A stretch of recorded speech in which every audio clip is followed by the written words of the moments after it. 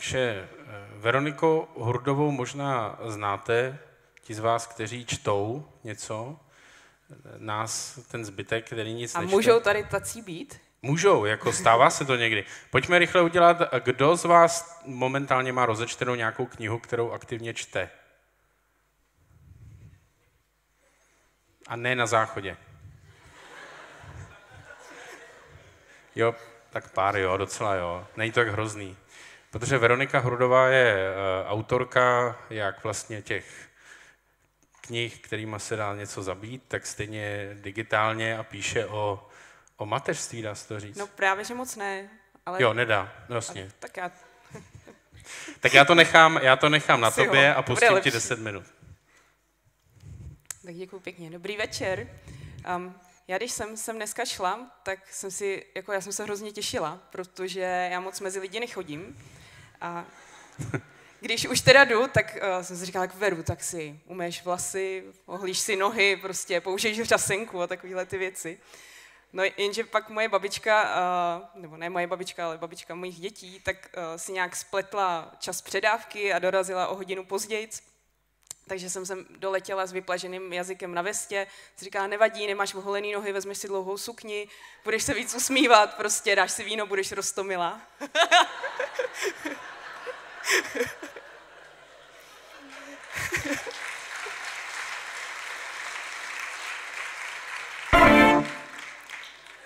To mi nedělejte, já se strašně lekám. um, tak všechno jsem to stihla um, a mně se jako takovýhle drobný průšvihy stávají docela často, takže babičce jsem nechala v poklidu všechny tři děti, eh, jedno s vymknutým kotníkem, druhý má boreliozu a třetí bylo nahý a drželo kuchyňský nůž v ruce.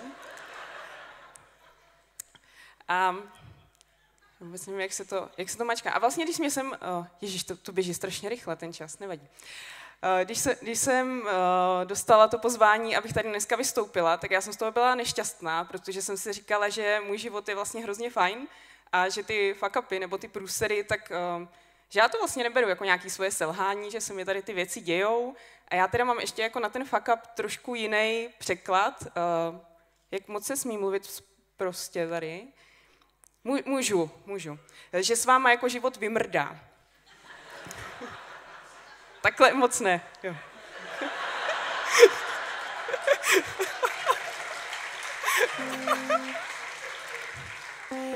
No a já jsem vlastně nevěděla vůbec, co tady budu říkat, protože nemám pocit, že by se mnou život nějak uh, takhle točil. A tak jo, to je ta fotka, co jsi říkal, že se rozplácla. Tak to jsem měla být já vypadám tam strašně tlustá. Nevadí. Uh, jak, já přemýšlím, jak moc se mám představovat. Je tady někdo, kdo mě nezná? No tak to by asi chtělo, no. já se totiž jako nerada uh, představuju, že mám pocit, že když řeknu, že jsem spisovatelka, tak každý si pod tím něco představí, jako že jsem třeba introvertní, chudá.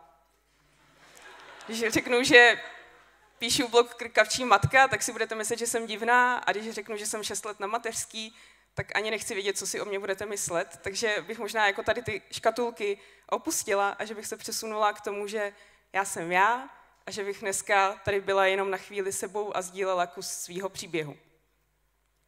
Tak, tady ten příběh začíná. Je to uh, leden 2015, na obrázku je můj muž Honza a moje dvě děti, uh, a to zelený, hnusný, v čem se hrabem je Atlantský oceán na Kanárech a my jsme se uh, nejenom jako z důvodu toho oceánu, ale tak obecně tady vlastně rozhodli s Honzou, že bychom strašně rádi takhle každý rok na zimu na nějaký dlouhý čas uh, zmizeli z Čech a učili naše děti doma, měli práci, která by byla nezávislá na čase a na místě, abychom nemuseli pracovat těch 8 hodin denně, ale třeba 2-3 hodiny a že bychom byli víc spolu a byl to takový náš sen, na kterým jsme hodně pracovali. Takže tady to, eh, tady to všechno vzniklo. No nicméně eh, do toho pak na podzim přišel takový první možná fuck up, by se dalo říct, aby tady nějaký fuck upy zazněly. Um, tohle... já, já nevím, možná muži tenhle pohled taky znají, ale uh, to není. Je to jako pohled na mě ze zhora. Asi to chápete, jste inteligentní uh, publikum. Uh, když jsem uh, znovu otěhotněla a já jsem naprosto spanikařila, protože jsem nikdy tři děti nechtěla, Uh, nedokázala jsem si představit, jak se o ty tři děti budu starat, když nezvládám už ani dvě. Úplně nám to zkazilo ty plány, protože my jsme vlastně další zimu chtěli vycestovat a já do toho prostě uh, desetkrát za den zvracela a nebyla jsem vůbec ničeho schopná na to, jako rozjíždět nějaké svoje vlastní podnikání, který uh, už jsem v té době začínala jsem dělat nějaký copywriting. No, uh, to jsem ještě zdaleka netušila, že uh, to, že řeším, že nezvládnu tři děti ve dvou lidech, se ještě o něco zhorší, protože dva měsíce na to můj muž zemřel. Tak a nechal mě v tom samotnou a rozplynuly se všechny asi moje sny, které jsem uh, měla, ať už o cestování nebo o jakýmkoliv dalším životě. A vlastně, když jste v takovéhle situaci, tak začnete jako přemýšlet a rozmýšlet nad svým životem úplně, úplně jinak a posune se to do jiných kategorií. To jsem já, jak přemýšlím. a běží vám hlavou otázky, jako jak uživíte svoje děti, jak budete zvládat výchovu, když jste strašná matka, a jak budou probíhat vaše všechny vize, které jste do budoucna měli, jako že budete sedět spolu v duchodu v pantoflích na verandě, koukat někam do zeleného a šoupat nohama a chválit si vnoučátka, jak zvládnete vlastně všechno ve svém životě. Je to jako by vteřina, ve který vám ten život takhle zmizí před očima. No, nicméně já jsem našla takový částečný řešení, který uh, vlastně roz, tak, tak jako ve mně rozlilo takový klid. Měla jsem najednou mnohem jasnější hlavu, uh, všechno mělo řešení a zdálo se krásný. Je to ono. Jsem si říkala, co tam bude za Um, začala jsem trochu pít. Asi nevím, jestli bych to každému doporučila. Já jsem v té době, uh, teda v těhotenství tolik ne, ale jakmile jsem porodila, tak jsem pila relativně dost. Pila jsem i sama. Uh, dala jsem si třeba každý večer, jsem měla jako dvojku vína. Nicméně, když pijete víno, občas vás napadnou dobré myšlenky a já jsem se úplně nezna, nevzdala toho snu, o tom, že bychom měli teda někam za hranice v té zimě, že já zimu úplně nesnáším, je mi z té české zimy, mi to dělá jako nedobře na těle i na duši. A tady to jsou uh, vlastně dva měsíce po smrti mého muže, kdy my jsme měli uh, už koupený letenky do Madridu za našima kamarádama a takhle jsme tam trávili nový rok. A já vlastně jsem uh, si teda řekla, tak mám pupek, mám dvě malé děti, ale to zvládnu, odjedu tam. Takže takhle jsme kalili na nový rok. Tohle je pak léto, je to asi půl roku po smrti mého muže, kdy už teda Jeníček, ten eh, nejmladší, byl na světě a já jsem všechny tři děti naložila do auta a jela jsem s nima do Rakouska a pak jsem s nima jela do Itálie. Tady už jsou děti trošku větší. My jsme strašně rozpláclí, jako nebo to vidím jenom já, nebo to vidíte taky. a tak. Jsme trošku větší, jako jsme úplně rodina Liliputů. A... Docela, je docela vtipný, že můj muž měl asi 203 cm, jo, tady to tak nevypadá. Tak uh, tady vlastně před touhle cestou jsem uh, nevypila dvě decky, ale celou lahev a po té lahvi mi přišel jako výborný nápad, že si koupím letenky uh, do Španělska a strávíme tam měsíc. Takže jsem se vydala na měsíc s dětskama do Španělska. Potom jsem se vydala do Švýcarska, a tady to je zatím naše nejdelší cesta, skoro dvouměsíční, kdy jsme byli v Portugalsku. Vrátili jsme se teď v zimě. A tím to neskončilo. tohle je ze Sicílie, proto jsem jako trošku opálená, že jsme tam, že jsme tam vegetili měsíc teď v březnu na Sicílii. Tak, já si tady po polezu bych viděla, co jsem tam napsala, že už je to díl. Co jsem si odnesla? Mám říct, co jsem si z toho odnesla. Takže eh, jedna věc je, že neposlouchám lidi, kteří mi dávají rady o tom, jak mám svůj život žít, protože ten život je jenom můj a jak já si ho postavím a udělám, je jenom na mě.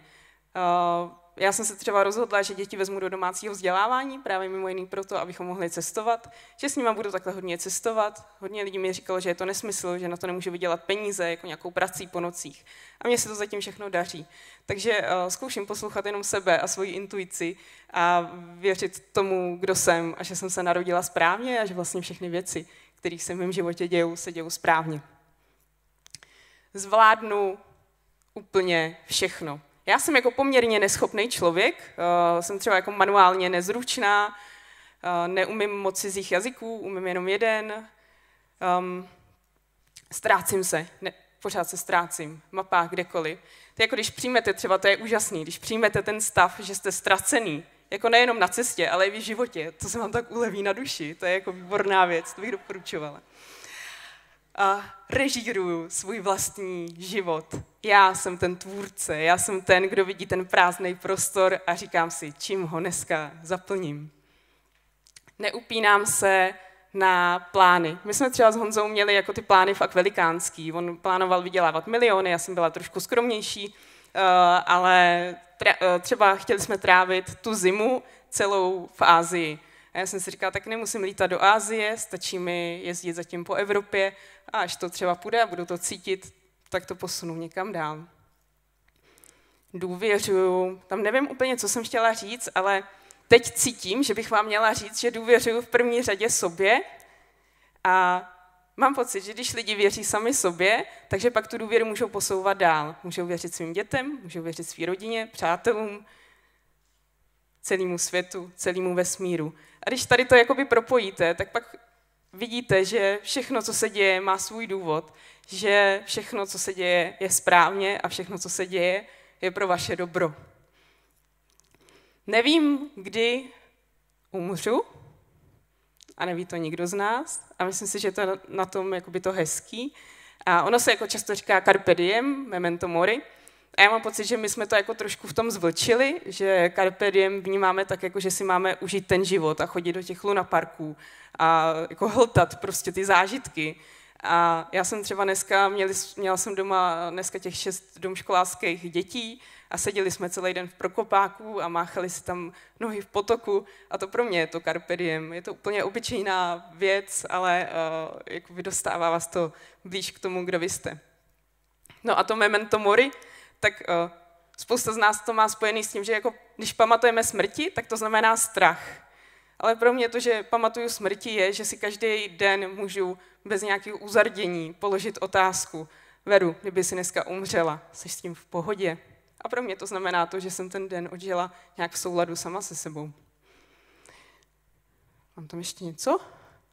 Jo, co bych udělala jinak? Tak uh, především bych méně pila. A pak bych asi řekla Honzovi, ať na tu blbou střechu v pátém patře neleze, protože asi všechno to, co mi ta jeho smrt přinesla a tak, jak to vnímám a cítím, tak um, je sice krásný, ale asi s fleku bych to vyměnila za jediný den s ním. A možná jakoby pro uh, vás všechny, který máte svý blízký a máte to štěstí, že jakoby můžete s nima být, tak uh, užívejte si to.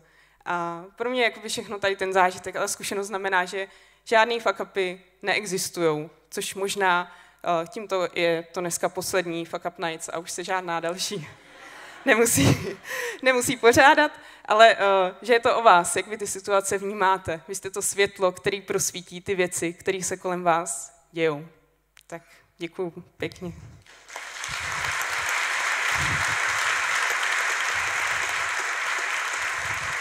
Veronika Hordová.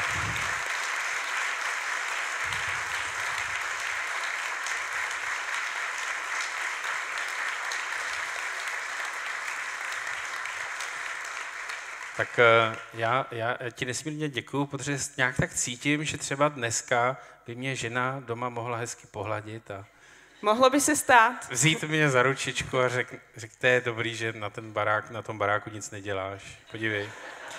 Ale na druhou stranu je to taky love-hate, protože až si zase otevřu tu láhev dneska večer, takže nevidíš, vzpomín na Veroniku, nepij. Nemusíš si to pustit znova, toto.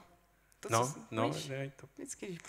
No. Takže ale a druhá věc, eh, jsem rád, že eh, si všichni tady kolektivně můžeme eh, skutečně na tu, na tu smrt eh, se zamyslet. Ono se to málo kdy dělá, abyste si řekli, že jestli ten den, když tady teďka by na nás spadla ta lucerna, nedej bože, tak jestli vy jste vlastně si řekli, je to, bylo to ono, je to, jak uh, umřel bych šťastný. A za sebe ne, prosím vás, ještě vemte si ty mobily s tím sign-upem na to GDP a OK, ale aspoň ještě, prosím vás, než teda to skončíme, aspoň se upište na ten, eh, na ten mailing. Takže to bylo úplně nevhodný, ale to je fuck up night, my tady nemusíme dělat politicky korektní uh, propagandu.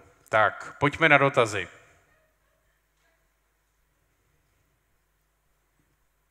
Nejdřív tady, pak tam.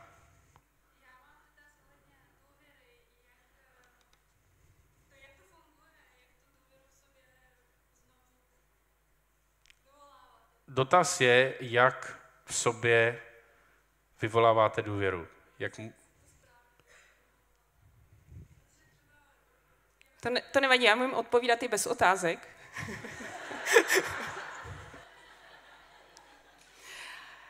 um, No, k tomu tématu důvěry, tak uh, já mám pocit, že jakoby i když v úvozovkách něco podělám, tak já se za to umím pochválit. Že já si jakoby každý okamžik svého života na sebe umím být hodná. A říct si, Veru, to nevadí, že brečíš a jsi tady flekatá, tak na sebe koukej do zrcadla a breč si. To nevadí, že jsi to pokazila, protože s tím jako množstvím informací, které jsi měla, zkušeností v momentálním Eh, emocionálním rozpoložení, z menstruační fázy, tak si udělala prostě to nejlepší, co si mohla. Tak se takhle jako chválím, no, sama sebe. To víno taky pomáhá občas. I know. Tak uh, pojďme, tady, tady byl někde ten druhý dotaz, ano. Jak moc jo. se obměnili lidé ve vašem okolí po smrti manžela? No jako relativně hodně a já nad tím přemýšlím, jak moc se to děje. Mm, vlastně nemám nějaký, jako já jsem teda vystudovaný sociolog, ale eh, nemám nějaký vzorek jako lidí, jak moc se třeba po třicítce mění okruh přátel.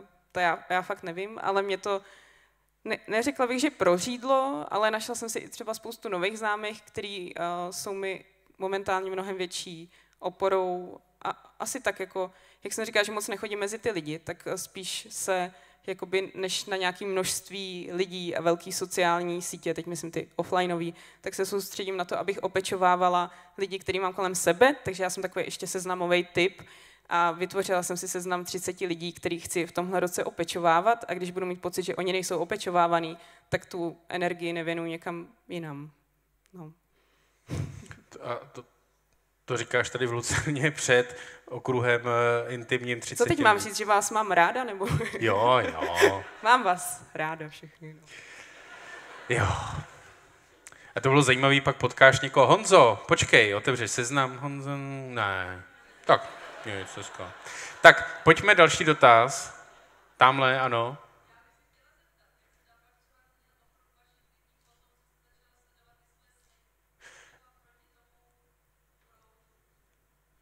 Jenom dotaz teda, jestli jsem to pochopil, byl, Není jak to se stejný? Z... Ne, bylo to, jak se změnil okruh lidí po tom, co si začala studovat své sny. Plnit své sny. Jo, um, jo, takhle. Ne, já jsem taková, já říkám o sobě, že jsem taková docela lucky bitch. Uh, pro neangličtináře to nebudu radši překládat. Um, že mě stačí jako vyslat nějaký přání do vesmíru a ty věci se dějou, takže teď třeba uh, jsem se nedohodla s ilustrátorkou, která měla ilustrovat moji další knížku a den potom, co jsme se rozešli, tak uh, jsem vystupovala na mezi ploty a tam za mnou pak přišel takový sympatický mladý pár a ten pan říká, tady moje manželka Eh, dělá ilustrace, kdyby s náhodou někdy něco potřeboval, já říkám, bereš uh, zakázku, kdy můžeš nastoupit a takhle mi jako ty lidi do života chodějí. Takže já mám jako ohromný štěstí, ale uh, mám pocit, že je to jenom v tom, že jako zůstávám otevřená a, a věřím tomu, že se ty věci jako stanou a že se dějou. Tak, tak, nevím vůbec, jestli jsem ti odpověděla, ale mě to nevadí asi. tak, dáme poslední dotaz.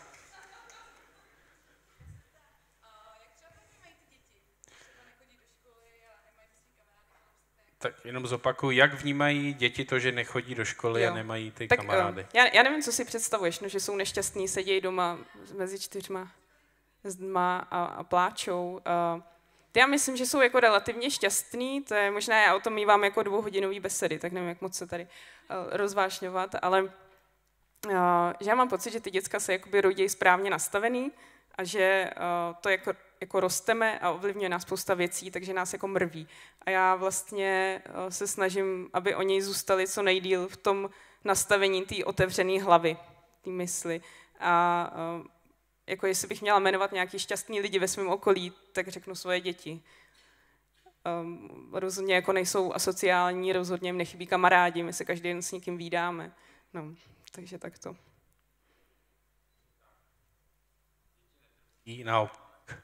A musí si zachovat to základní nastavení, kterým přišli na svět, což je hlavou. Bylo, bylo to tak? U mě jo. Veronika Hurdová.